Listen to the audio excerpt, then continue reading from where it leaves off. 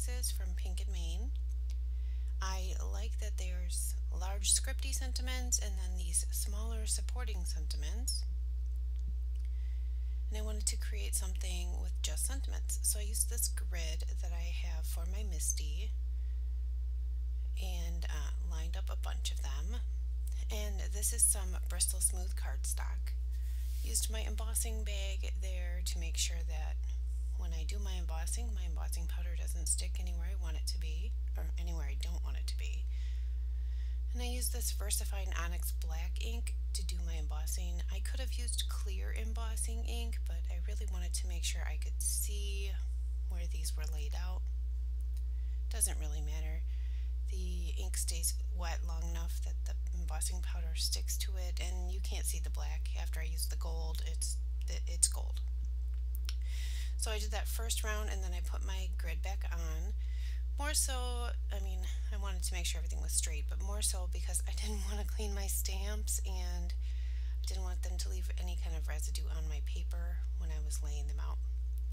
So I just kind of did some picking and choosing on where I wanted them to be. And I didn't reuse them all, just some of them. Again, I used my embossing buddy and then the VersaFine Onyx Black ink, and they're not perfect. this is a handmade card. It's They're never going to be perfect. It's kind of, um, I used to include a, a letter with people that ordered cards for me that said, you know, thank you for ordering a handmade card.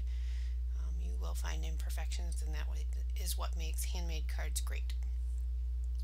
So here I am going to do some ink blending. I used this lighter color. I'm pretty sure this is Mermaid Lagoon or something like that. Here in the center, and I did make it in the center, and then I went around with blueprint sketch around the edges. I wanted to make sure that that center stayed lighter, and like I said before, I used Bristol Smooth cardstock. The blending on this is just dreamy. It goes on just so smooth and buttery. You don't have to really saturate the paper in order to get a good blend but the colors are not nearly as vibrant so there is that. So I went with the blueprint sketch and then I went with I think it's faded jeans maybe and then this is the black soot. I wanted the edges to be deeper and darker so that that center really appeared to glow. And I went back over everything make sure I got that glow. So then I used some water to add some spots to my panel.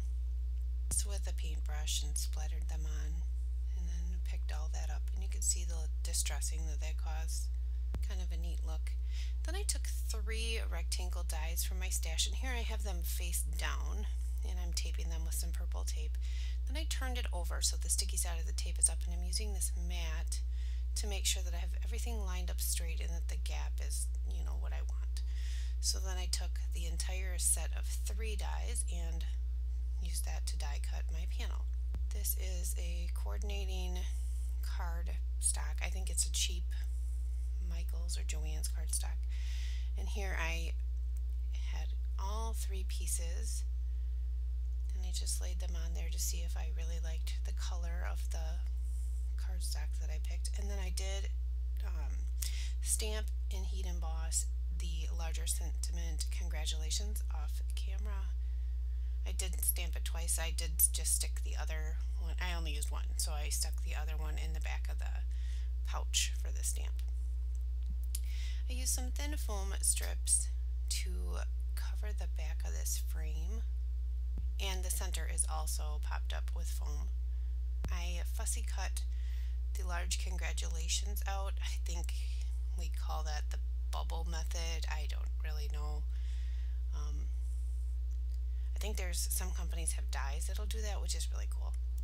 So I put that first, the outside layer down on the foam tape and then the second layer or second part of this rectangle is flat on the card base. So you get dimension but the sentiments read straight across so it's just kind of interesting.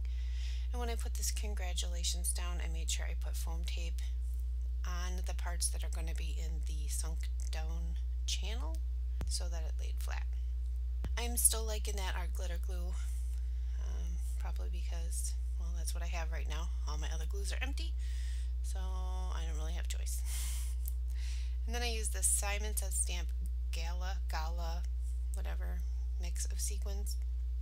I like that these larger goldish ones fit down in that channel and then I love the that there's these blue they're called confetti. They don't have the little circle or the little hole in them. I like that those really coordinated well. So I put some on the card.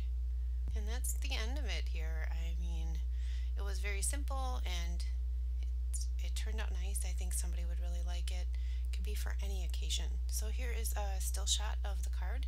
You can see a little bit more detail.